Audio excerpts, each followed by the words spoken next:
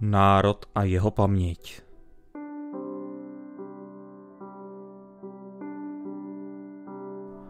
Životy našich předků zapomenuté v čase.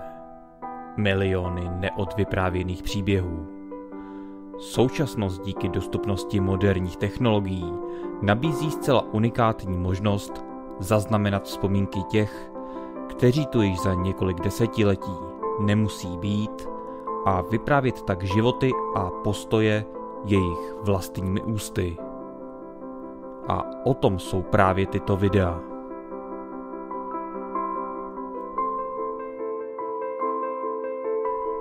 Zájmy pana profesora Milana Nakonečného nekončily jen u psychologie.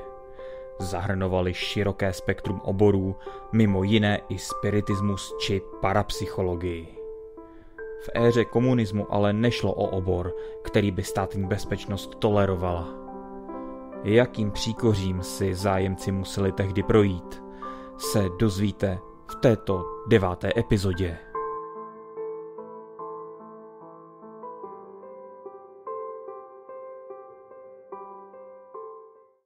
A... Jak jste se dostal k té, potom do té sobě slavy? Jo, pak jsem se dostal, pak jsem udělal, tam podal výpověď, protože jsem eh, se hlál, tam jsem sice riskoval, že mě nevemu, ale ta ředitelka mě vzala, to byla poslankyně. Celkem, celkem slušná dáma to byla, no ale uh, jako dost, dost tvrdá komunista, jako vyžadovatel, jo. No a uh,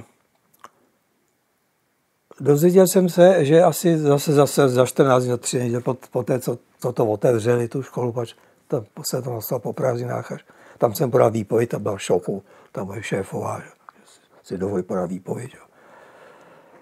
No a to už jsem tam prostě jako si, si vůbec neškrtnul, protože ten, eh, ten, ten ředitel toho ústavu, nikoli v celý, a to té pražské pobočky, to byl nějaký ekonom, a já když jsem napsal, napsal, napsal jsem recenzi ruské knížky, tak jsem potřeboval potvrzení prostě od zaměstnavatele, že to můžu, že nemají námitky proti publikování a on dobře věděl, že to, to nejsou odborné námitky, nebo že to jsou to ideologické námitky. Že?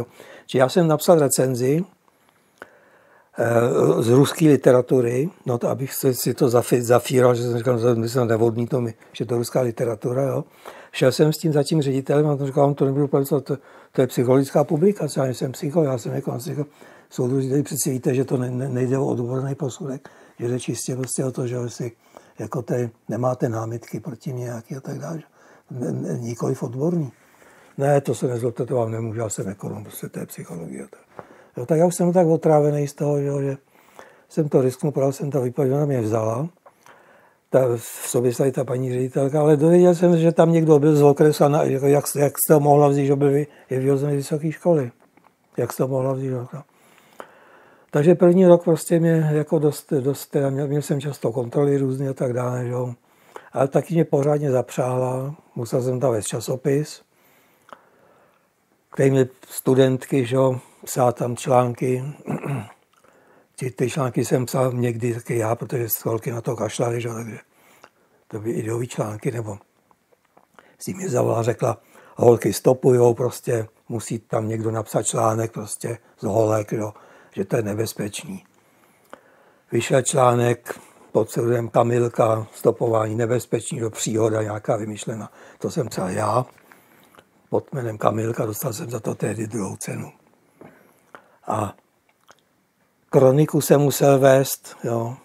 musel jsem dělat poradnu pro tu školu, či kromě toho, že jsem tam učil, a protože to začínal, tak jsem tam musel učit dětskou literaturu, biologii, eh, vědecko výchovu, psychologii a nějaký pedagogické obory.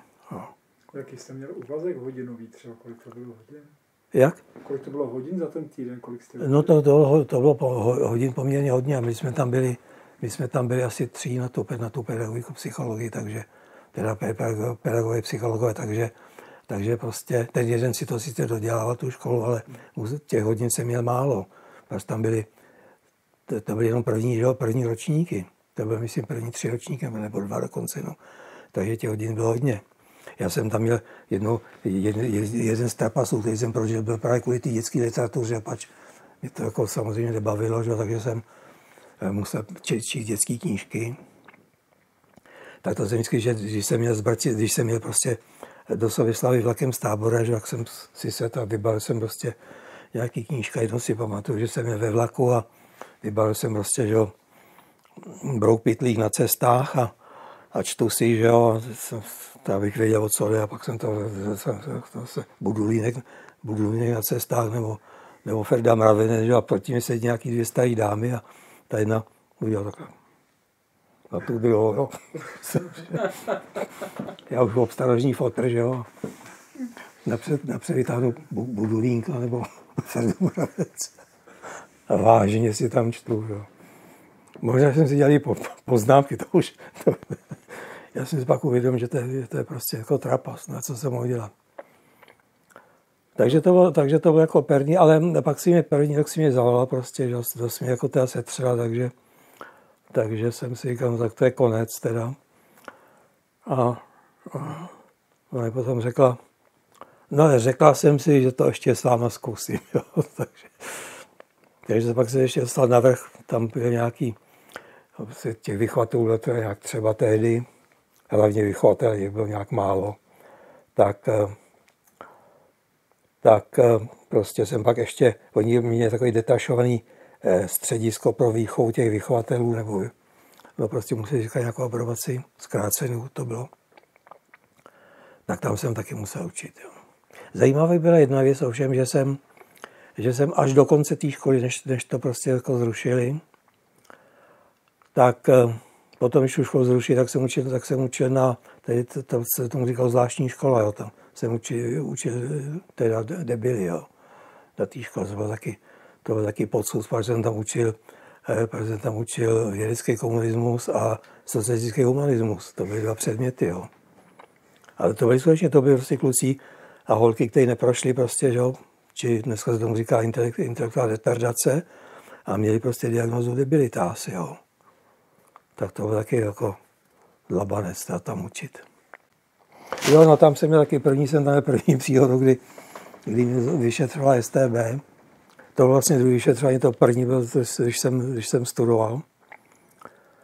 Tak to byl první zásah STB do mého života, a druhý zásah byl prostě, celkem ty zásahy byly tři nebo čtyři.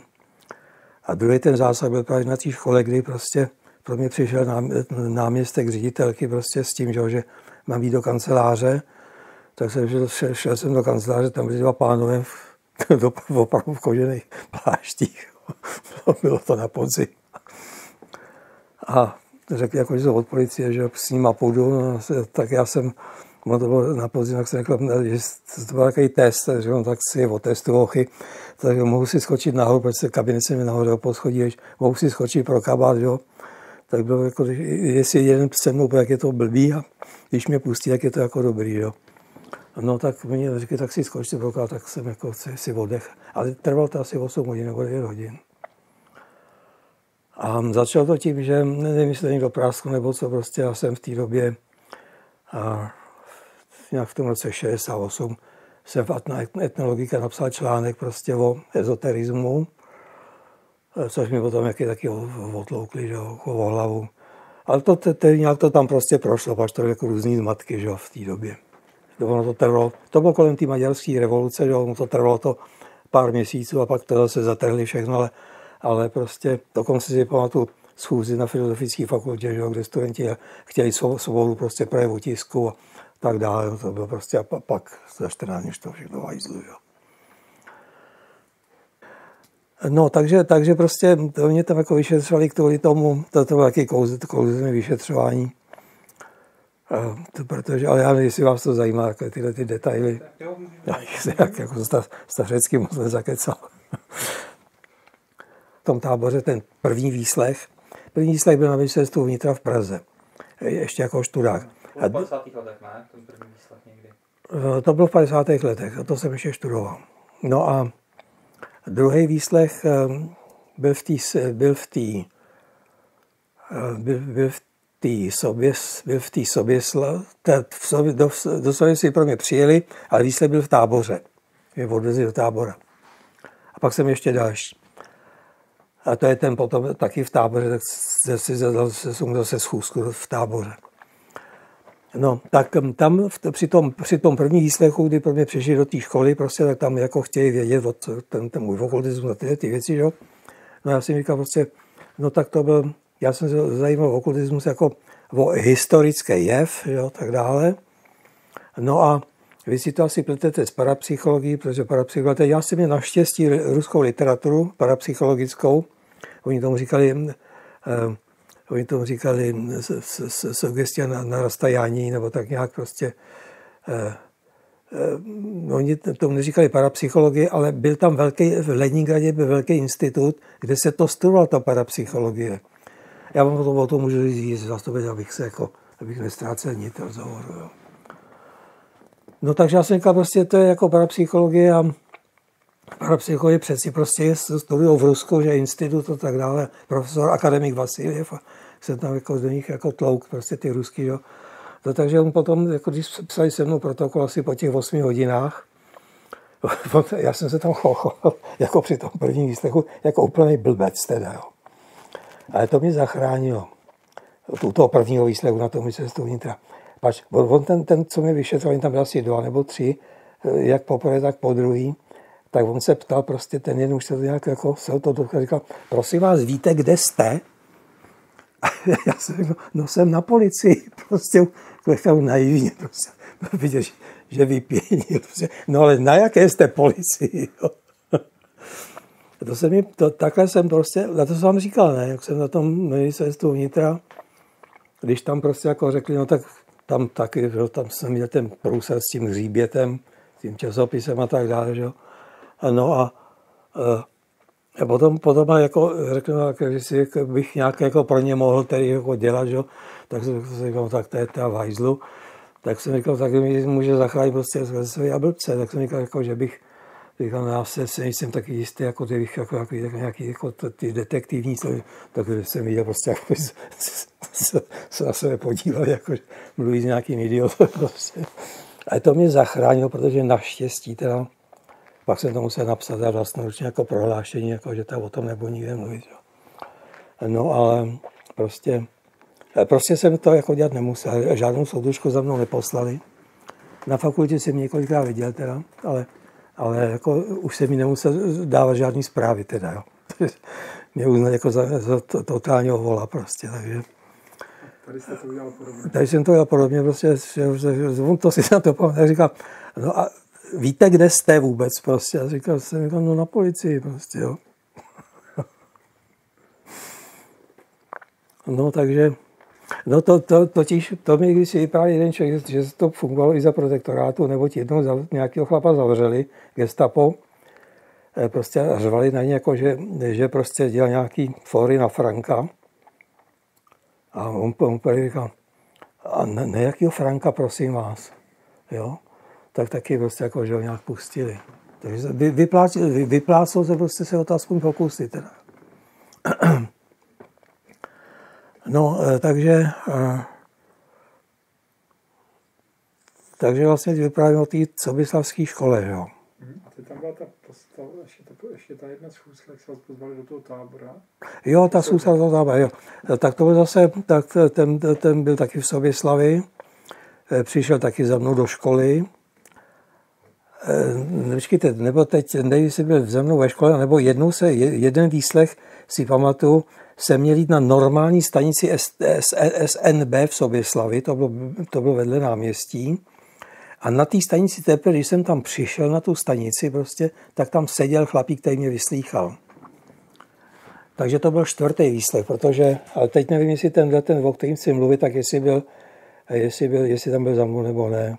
A fakt je ten prostě jako, že mi dali jisté úkoly a že chtěl, zajímal se hlavně o ten pobyt v tom, v tom Německu a, pak chtěl prostě, aby charakterizoval prostě ty lidi, jsem se tam seznámil a dal si se mnou schůzku v táboře. A tam si pamatuju ten detail, že jsme měli schůzku prostě někde před tou hospodářskou školou vysokou a jsem se tady musel smát a on povídal, je tady někdy nějaký bar prostě, jako, tak nějaký prostě chlapík, prostě, jo, mě přezal jako inženýr, už nevím, to si nepamatuju, jsem inženýr, jsem oboril. A on tam naštěstí, on tam jeden bar byl, tam nějak naštěstí zavřený, prostě, jo, takže jsem řekl, že je zavřený ten bar. Tak jsme šli do parku před nádražím a, a on chtěl, on chtěl prostě ten, ten, ten pí, písemný elaborát o těch lidech, a jsem říkal, že ho nemám. Že jsem mu to říkal, prostě, že no to jako nemám co měnit. A on byl jako, jako naštvaný, a za mě seděl takhle vedle mě a podíval se na mě a říkal mi, no co byste řekl o mě, já on chtěl psychologii, nějakou psychologickou co byste řekl o mě, já jsem jako, no, jsem jako myslím, no, no to, troch, trochu nejistý a neuro, ne, neurotický, prostě jsem mu řekl, takhle jsem na podíval, prostě. on se nějak jako naštval, jo. Takže zase už to, to, byl, to byl poslední, prostě poslední sledání, už, už, mě, už mě jako nechal být. Měl jsem sice teda ale obavy, že, protože když potom přišly ty, ty požadavky, aby, aby jsme předložili ty ilustrace, že, tak jsem, jsem jak si dostej sevřený zadek, jestli tam nebudu uvedený jako případný spolupracovatel, člověk neví. Naštěstí teda ne. Jo. No a teď ještě jsem chtěl něco říct. Jo, k tomu, v tomu výslechu tam byla, v tom, v tom, při tom výslechu v táboře, když pro mě poprvé přijeli ty dva hoši v těch pláštích, tak potom na mě taky zkoušeli křížový výslech. Oni se, oni se mě ptali, co mi byl zabavený, já jsem řekl, ten kamis mi byl zabavený, že jo, a, a teď to tam nějak popletli prostě a s kým se teď začali, s kým jste se setkal v tom Mnichově, jo.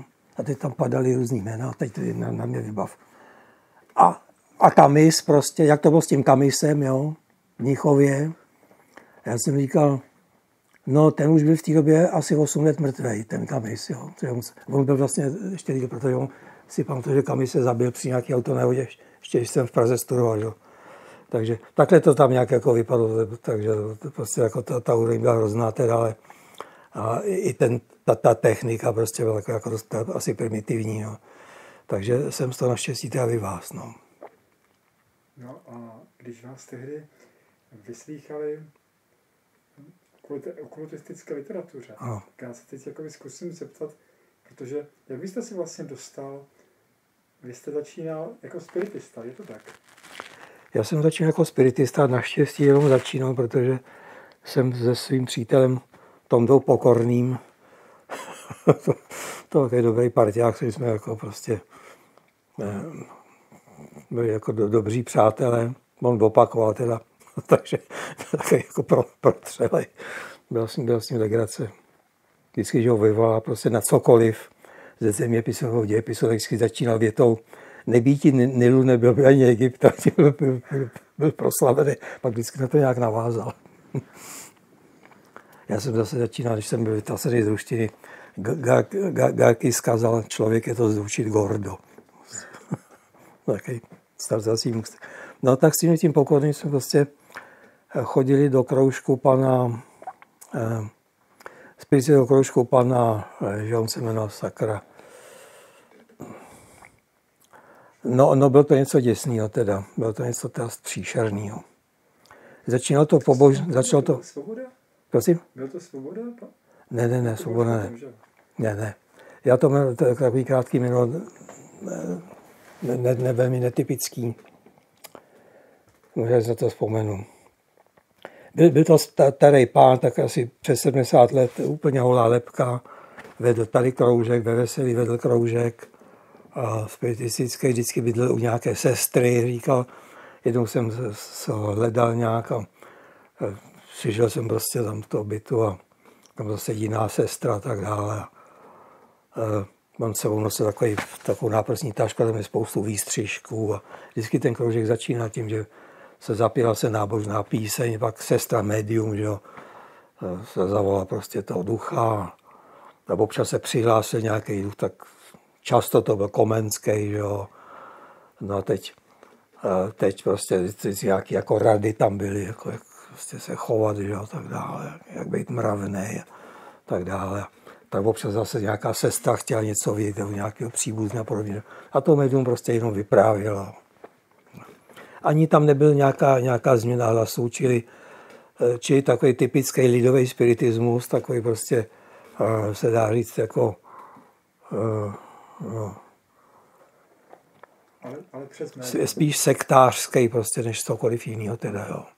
Bylo spíš jako to, ale bylo to přes médium, nebylo to třeba... Ne, nebylo to, přes, médium tam bylo a vypadalo, že médium je v tranzu, ovšem jako jestli je nebo ne, no, tak prostě nemluvilo jiným hlasem, tam mluvilo stále stejně, teda, jo. občas tam nějaký poselství bylo, občas taky prostě te příslušný, jako by někde byl třeba na koncertě zrovna, že neměl čas se dostavit. Jo. Takže byl to, byl to spiritismus na úrovni prostě primitivního metafyzického materialismu, teda totálně primitivní materialismus.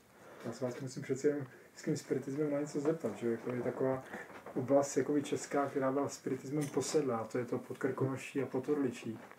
Jak se, jak se vy na tohle díváte? To byla taková módní vlna, která prošla tím Novopadskem a tak dále.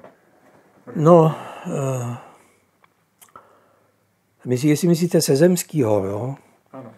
No, tak Sezemský prostě to bylo na tý, někde na té Vysočině, myslím, ne? Tak, to bylo na Vysočině. A, a tam, na tom Vrklavi to bylo spíš takové hodně lidové. Uh, no, že... Ten Sezemský prostě, ten, to byl ještě horší, to byl ještě horší, byl na Žižkově ten Pražák, bratr, jak on se sakra jmenoval, Bělo, Bělohradský, nebo tak nějak se jmenoval. Jestli jste znal ten, na Žižkově byla velká parta, Bělohradský. No, samozřejmě, že existuje jako vyspělejší specifický kroužky, který pracovali s médiem, který mělo třeba fyzikální jevy, teda jo. Tak my jsme samozřejmě jako s tím Tondo očekávali, jako, že to jako něco uvidíme, ale nic jsme ne, nikdy jsme nic neviděli. Pouze jsme slyšeli tyhle ty prostě jako tahle ta vyprávění, že, že s časem se dospěli k tomu, že to je v podstatě ta legrace, že, že to jako nemá smysl tam chodit, protože to, to bylo pořád stejný, že, takže jsme to prostě z toho vypadli. Čakrt se jmenoval, Čakrt. Čakrt se jmenoval ten pán. A to byl a v, ve Veselí byl ještě jeden a ten byl současně léčitel. Ten Čakr léčitel nebyl. No ale to neznamená, jako, že byly tedy že, koušky, které měly opravdu jako teda nějaký tedy pozorodní, pozorodní jevy, ale, ale to jsme bohužel nezažili. E, potom, potom jsme spolu byli v tom občanském fóru, snažili jsme se tak udělat něco protisk. E, už, už, v, de, už v tom roce 8, 90 prostě jsem napsal článek a už jsem mu nemohl vytisknout, protože se jim zdál být prostě příliš, e, příliš prostě tedy agresivní. Jo v 90. roce